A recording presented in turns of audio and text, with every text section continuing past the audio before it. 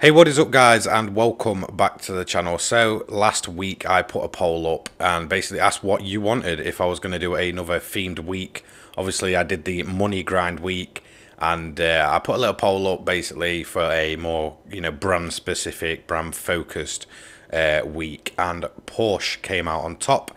So that is what we're going to do. So I had the idea of reviewing all of the uh, kind of 911 models we have within Gran Turismo 7.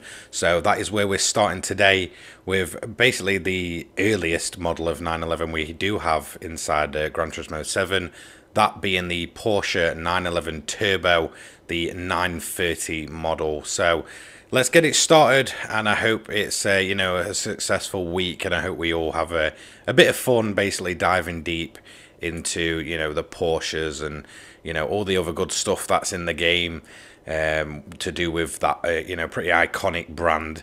Now I'll admit I've never been the biggest fan. I've always found some of the designs very iconic especially this one here um, but I've never been sort of like crazy about Porsche, but I know a lot of people, you know, are. They're very passionate about them. Um, so it's going to be kind of cool to see these cars grow on me, and I'll admit straight away they have by just basically running them in the game. So expect money guides, car reviews, and all that good stuff, but focused around the Stuttgart brand. So to avoid a bit of confusion on how this works and how the cars are ranked, um, I'll give a bit of an overview to any new viewers that may be around. Um, people that have been around these reviews for a while will kind of know how this works.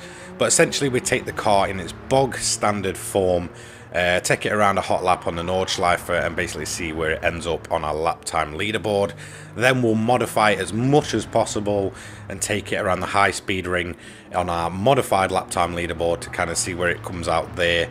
And it's uh, a pretty cool contrast between, you know, bog standard car and heavily modified insanity. Um, so that's kind of how these reviews work. I'll obviously give you some opinions and how the car kind of feels. Um, and I'll give you some kind of facts and, you know, price points of the car when it comes to Gran Turismo 7. So let's get into the review.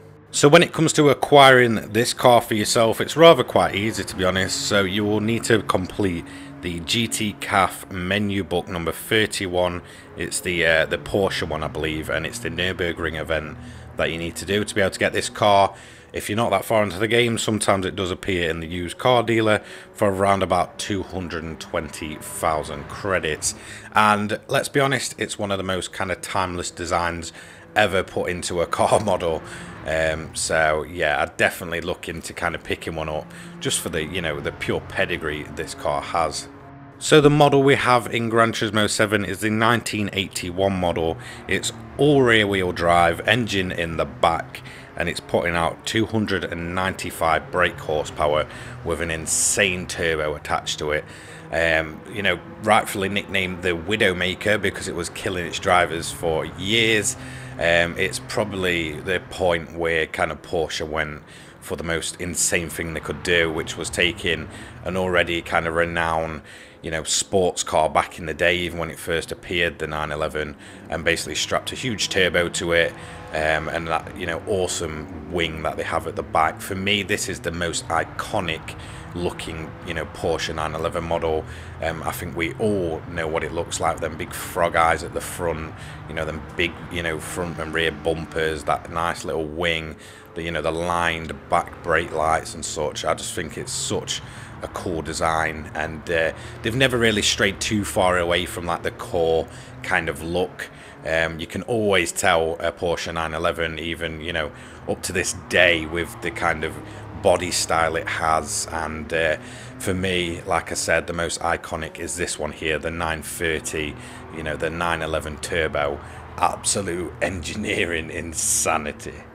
To today's standard it may not feel like the fastest car in the world but you can definitely tell like you know back in the early 80s and such this car was just insanely quick and uh, you can kind of see why it got its name. So driving this car from standard it is very happy to get its rear end out. Now it may just be me or it may just be sort of the age of the car. It's not to the point of you know some of the really snappy 60s race cars we have. Um, although you know it's happy to get its back end out. You always feel like you can kind of get it under control. Um, at no point during my time in its standard form did I feel like the car was, you know, too much or too powerful or, you know, it was going to absolutely send me into a barrier. And I was quite, quite happy, and you'll probably see throughout this uh, kind of, you know, lap that we're doing here that I'm quite happy to kind of sit with the back end sliding out and just kind of controlling it and having a whole heap of fun. And uh, I feel like that's kind of, you know, may sound like it's taken away from that Widowmaker nickname this car was given.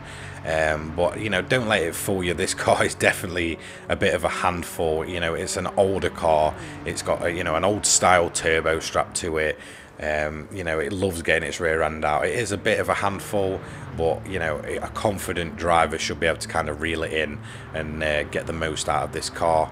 And I definitely felt like, you know, I got quite a bit out of this car. It was more, I guess, speedier than a four. Obviously, it's got only a four-speed manual transmission, um, very long gear ratio. So a good thing with that is that you're not chop chopping and changing gears too much through the corners.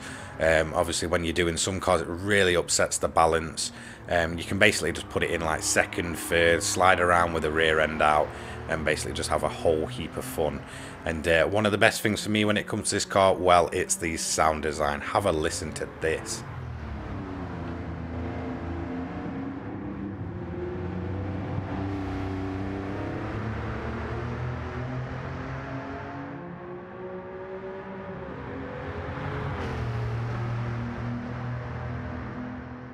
To me, that is one of the most beautiful engine notes ever, you know, created. It's uh, certainly a, an awesome, iconic sound, and it may sound, you know, kind of muted to today's standard of like high revving, screeching, uh, screaming supercars, but to me, you know, that that really sort of bassy, groany sound is just absolutely iconic, and uh, definitely, you know, up there as one of the best sounding cars in history, really.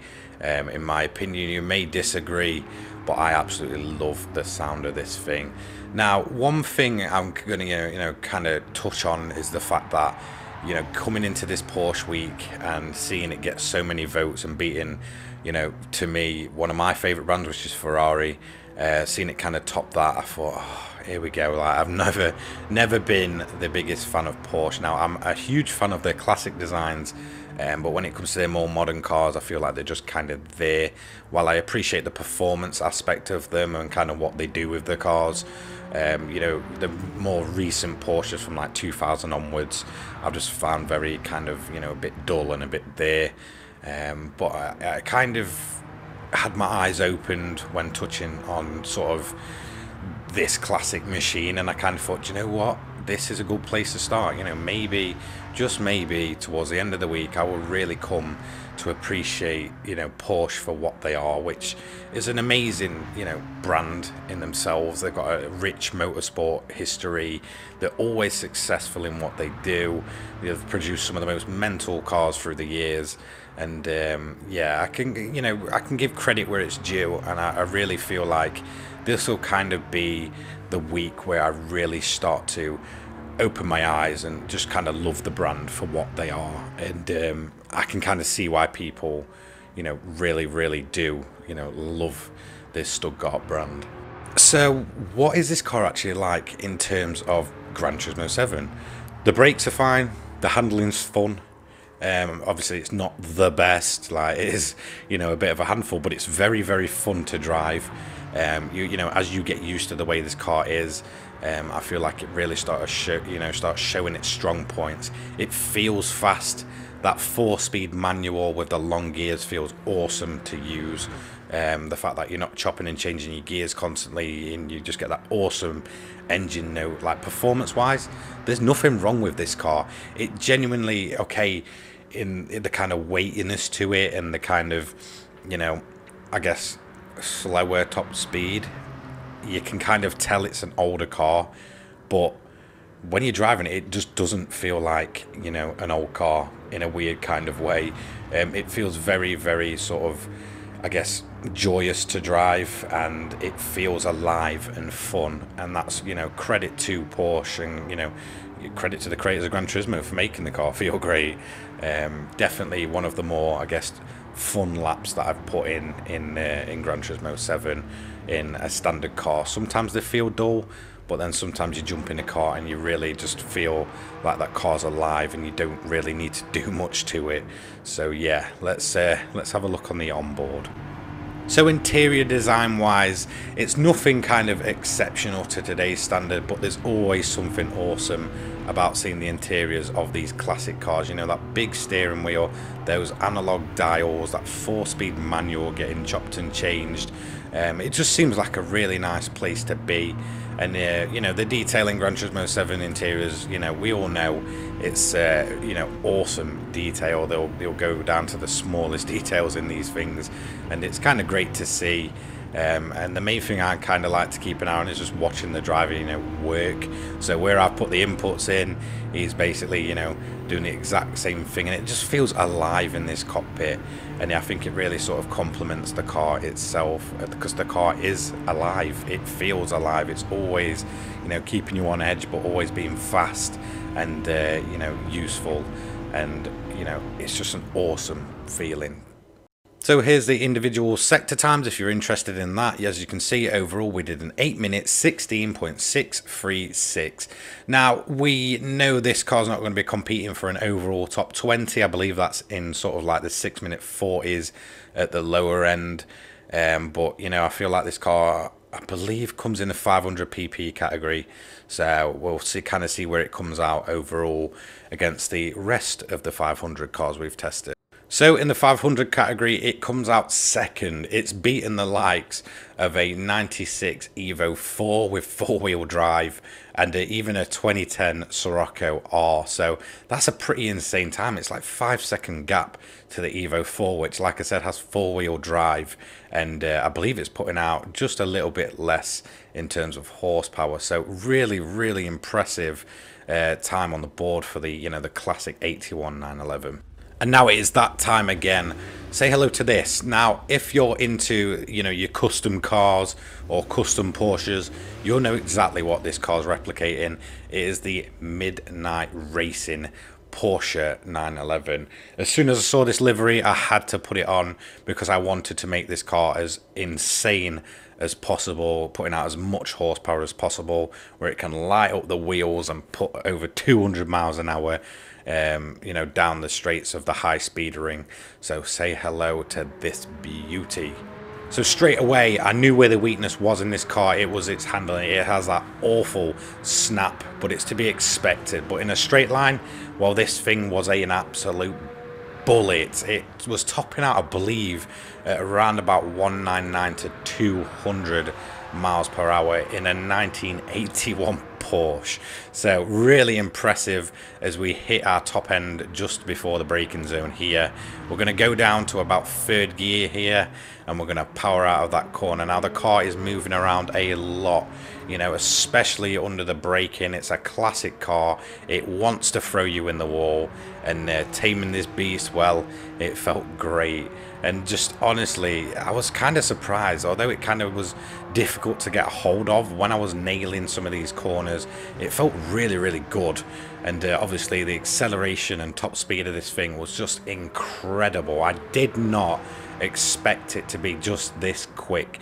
This felt more like the Yellowbirds of the uh, the RUF brand um, of old. So really awesome to see that we can customize this classic car to the most insane, you know, standards. So yeah, a 200 a mile an hour missile from 1981. So awesome lap, but let's see where it ends up overall. So it's only the third car we've allowed at the high speed ring. I will be going back by the way. And it's come out second. It has beaten the fully upgraded Scirocco R. You know, a car that is what 30, you know, 29 years newer. Um, just by, about four seconds uh, back from the Z Performance 23. So really, really impressive time. And like I said, it's an absolute missile in a straight line. So that's it. Thank you so much for joining me on this opening video to Porsche Week. I hope we can, you know, kind of look into this brand in a lot of detail, get through all the 911 reviews, do some money guides, and just have a whole heap of fun on the channel. There will be an update for Gran Turismo on the Thursday, so I believe there's actually a Porsche in that pack, so expect a, you know another car review and a, a deep dive into that because um, it is, I believe, the Cayman GT4. Um, so that would be kind of awesome to you know look into, and it's pretty awesome timing for it to get released on, I believe, the Thursday. Um, so I'll kind of jump on that as much as possible. Um, and kind of look into the update and you know help you out with all the events and good stuff alongside this Porsche week. Um, so yeah, just expect the usual content. There will be quite a bit of content this week. And uh, yeah, massive thank you. Don't forget to like, comment, and subscribe. And I'll see you all in the next one. Cheers, guys. Peace.